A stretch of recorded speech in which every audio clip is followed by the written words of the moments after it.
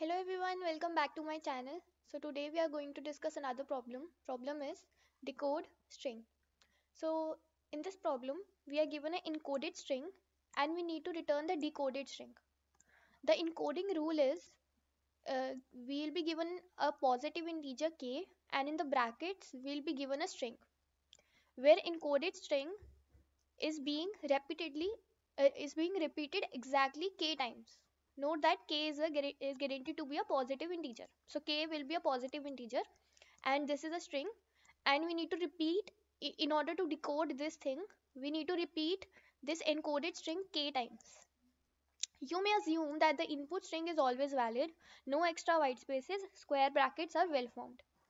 Furthermore you may assume that the original data does not contain any digits and the digits are only for those repeat numbers k for example, there won't be input like 3a, like only digit will be there outside the bracket and it will not be like this.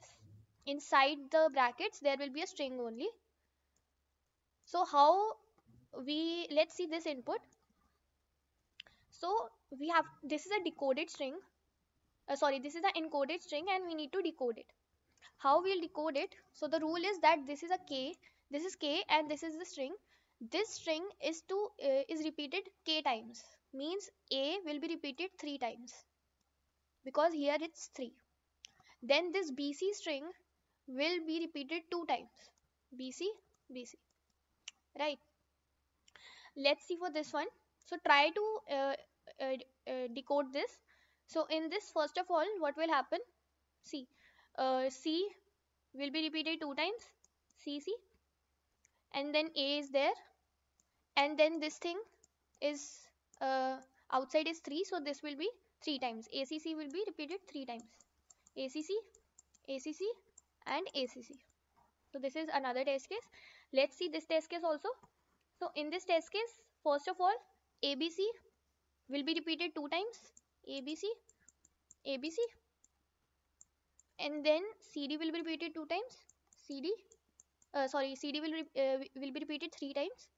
Cd uh, and cd and then ef will be repeat uh, will not be repeated. It will come as it is. Right? So these were some test cases. Now let's analyze them and think what we can do. See at any point of time uh, whenever this opening bracket comes we need to know what is inside the opening bracket. And when the closing comes what we are doing? We need to know this number which was outside the opening bracket. And then we will we will repeat the inner string that many times like k number of times. This was if this is k then k number of times we'll repeat the string which was inside the opening and closing bracket. Right? So like when we are traversing when we are at the closing bracket we need to know what was the what was this string and what was this number right. So if there is a structure if if there is a structure where we can like when we come to closing bracket we can know what was the previous string and what was the previous number. Then it will be easy for us right? Similarly when we come here uh, on this closing bracket if we know what was this string and what was this number we can easily decode it. We can easily uh, do this string into three times. Right so uh, over here also if we see in this test case what we'll do is first of all we'll uh, get opening. We get this thing. We again get opening. We get this c string. Now when we get this closing bracket we need to know what was this and what was this. What is this string and what is this number? So if you can visualize this is something like if we use a stack. We can stack these we can stack these things one over each other. And when we get the closing bracket we will pop them and we'll use them. So this is kind of approach we'll be using. Let's see for this test case.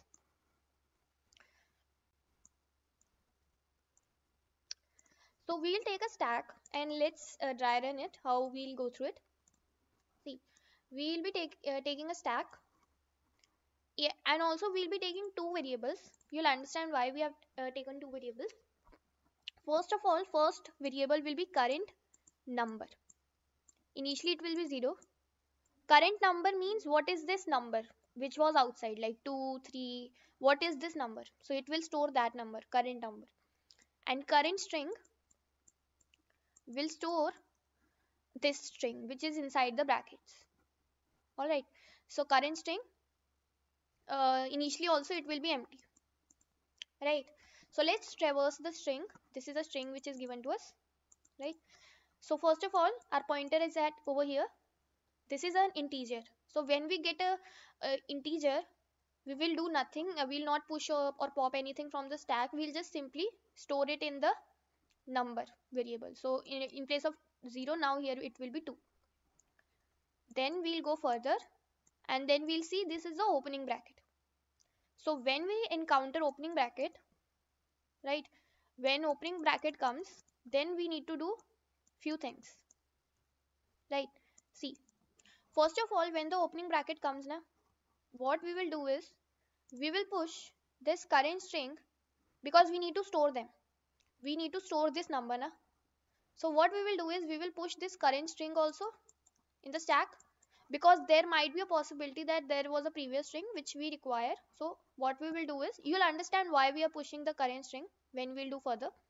So we are pushing the current string and we are pushing the current number because we need to store this too so that we can use it when the closing bracket comes right? So we'll be storing two.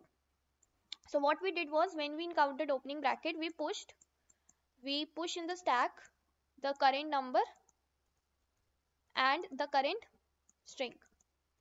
Right. Okay. Now once we have pushed them what we will do is we'll make them again empty because after also uh, there will be some value which will come. So we will we will uh, make them empty. So this will be empty again and this will be 0 again. Right. Now we'll go further. We see it's a it's a it's not neither a digit it's neither opening bracket or closing bracket it's a character so when we get a character we will simply store it in current string. So current string will become a. That is what we did.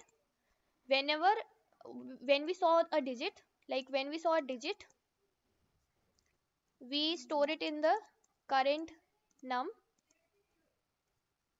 When we see a character we store it in the current string right these are two test cases uh, two case three cases.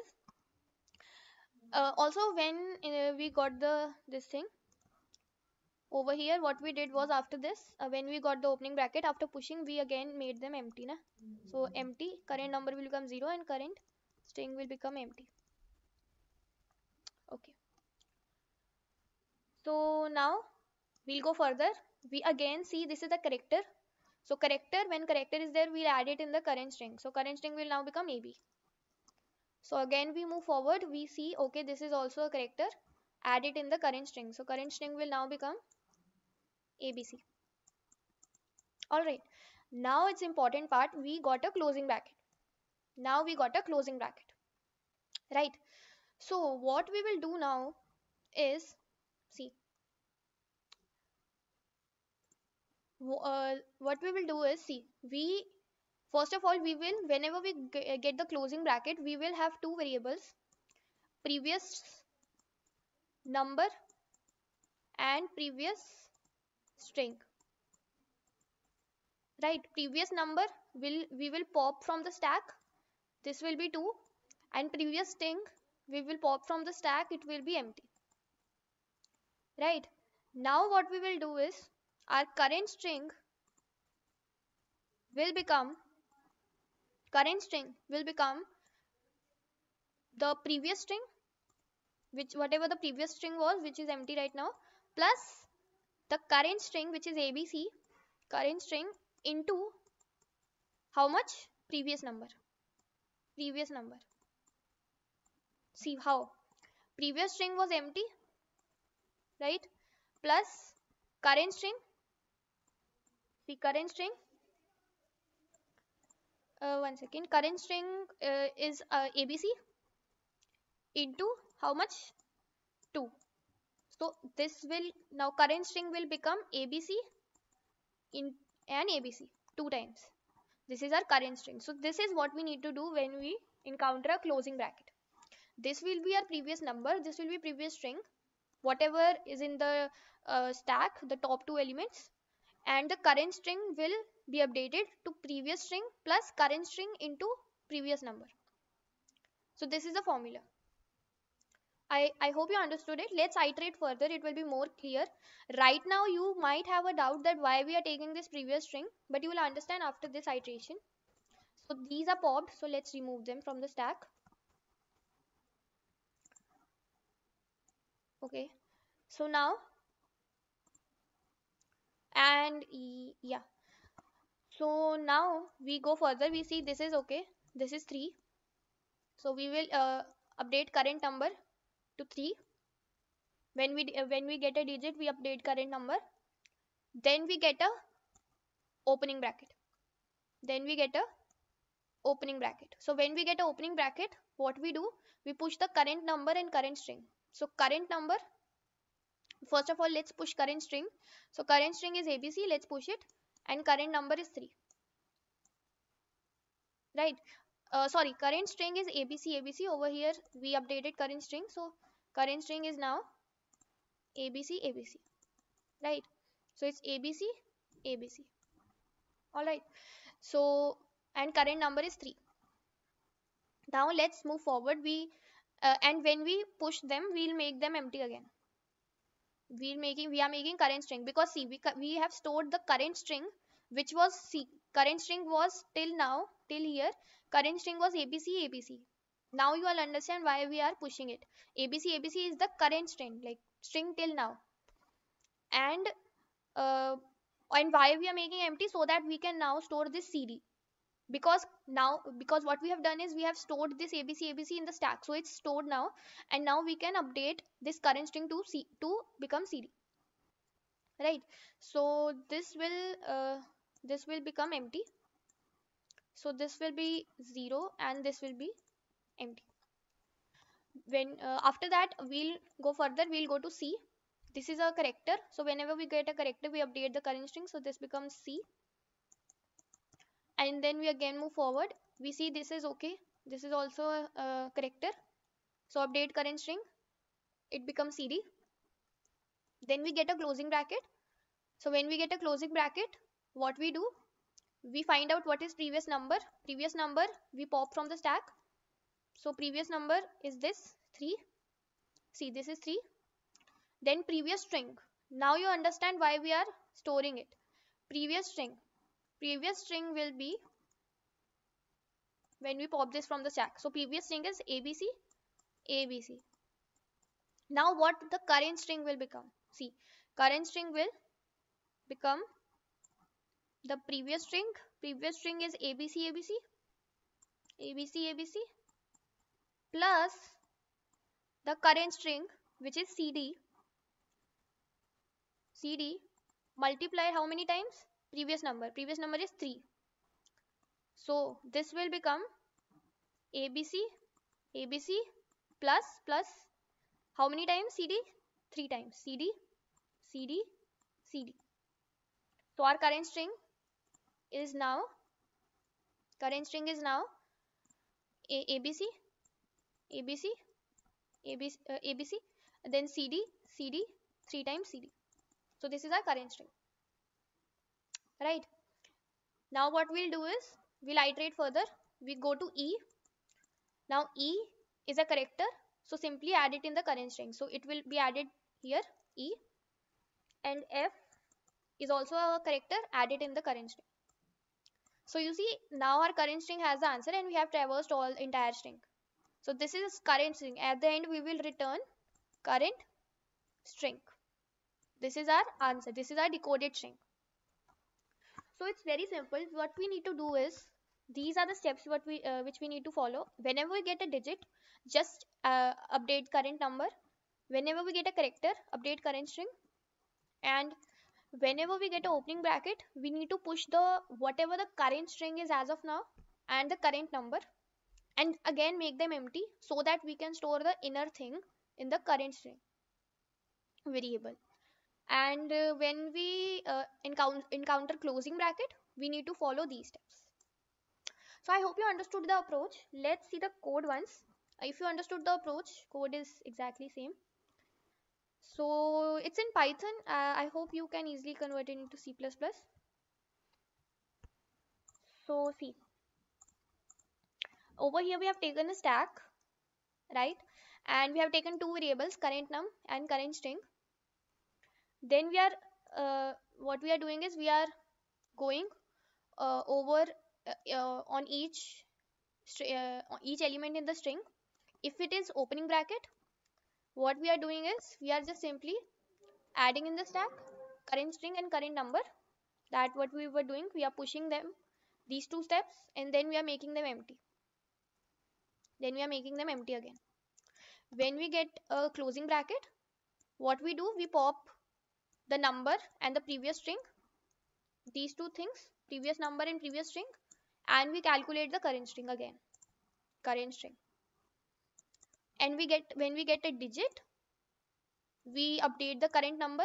Why we are multiplying with 10 because it might happen that see over here this is k right? And k could be a positive integer. So k could be 2 digit 3 digit it could be any digit right it could be 20 also here. It could be 200 also here. So for that if there is uh, already a value in n means we are getting a two digit number. For example if initially uh, current number has 2 and i go and i go over here it's 25 i go here i see 5 but current number already has some value so i'll do 2 into 10 whatever it's in current number into 10 plus 5 so it will be 25 so i'll store 25 in current number right so this is for that.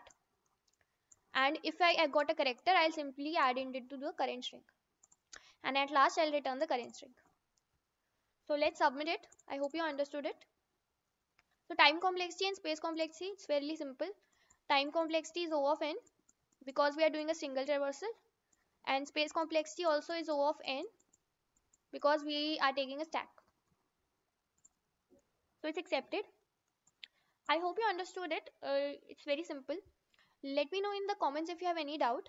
And also if you like the video, please like it, share with your friends, subscribe to my channel. I'll, share, I'll see you in the next video. Thank you.